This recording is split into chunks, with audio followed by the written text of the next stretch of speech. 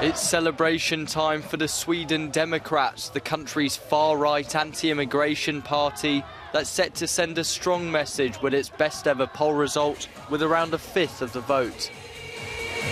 But for now, they can only rely on exit polling as Sunday's election is so close that officials say the final outcome won't be known until Wednesday.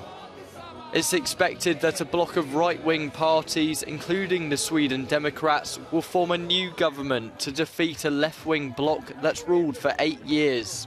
We really are now a big party. I am so proud and I'm so glad of what we have done together to achieve this.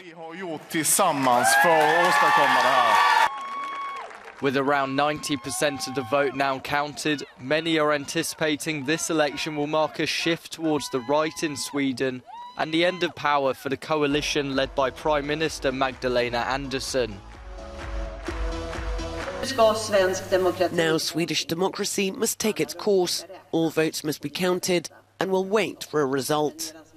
In the meantime, let's hope we had a good election, we had a good result, and we had a fantastic campaign.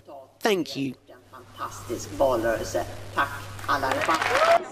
Regardless of who comes out on top, Sweden is likely to face a lengthy process to form a government, as it did after the 2018 election.